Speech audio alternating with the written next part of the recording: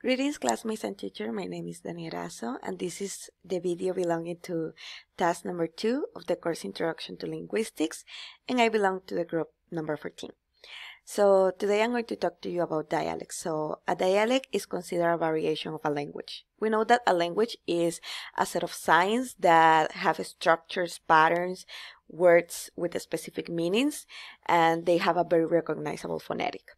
So when a group of people belonging to a specific area or belonging to a specific community starts adding new words, starts uh, changing a little bit the way that they use the, the patterns of the words, um, this can be considered a dialect.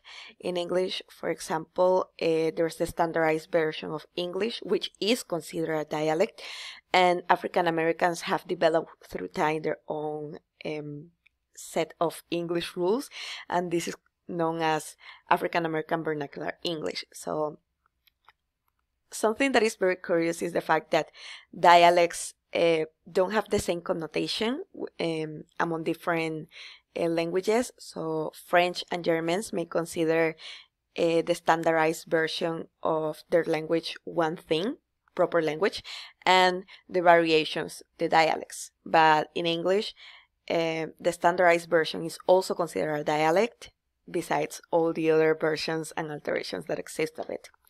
So in Colombia, we have like 12 very recognizable dialects. We have Caribeño, Antioqueño, Caucano, Chocano, Andino, Tolimense, Cundiboyacense, Bogotano, Llanero, Amazónico, Santanderiano, and Isleño.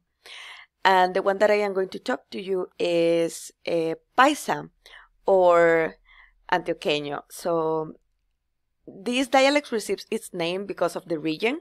It's located, um, well, the people that speak it are located in the areas of Antioquia, Quindío, Risaralda, and Caldas, which are four uh, departments that are widely known because of their um, coffee production.